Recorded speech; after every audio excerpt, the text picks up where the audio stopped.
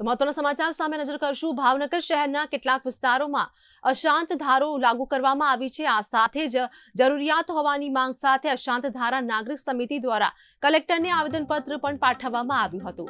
ભાવનગર શહેરના અનેક વિસ્તારોમાં વિધર્મીઓ દ્વારા મિલકત પ્રોપર્ટી ઊંચા ભાવે ખરીદી આખા એરિયાઓ પર કબજા કરવાની મેલી મુરાદ ધરાવતા હોવાનો ફરિયાદ અશાંત ધારા નાગરિક સમિતિએ કરી છે. તો ભૂતકાળમાં બનેલા અતિ ગંભીર અપરાધિક બનાવો, રાષ્ટ્રદ્રોહીના અપરાધીઓ ઝપડાવવામાં સહિત જાહેર સુલે શાંતિના અસ્તિત્વ પર સંકટ તોડાઈ રહ્યું છે અને હિન્દુ સમુદાય ભયના આશ્રય જ જીવન જીવી રહ્યા હોવાની રજૂઆત કરવામાં આવી હતી.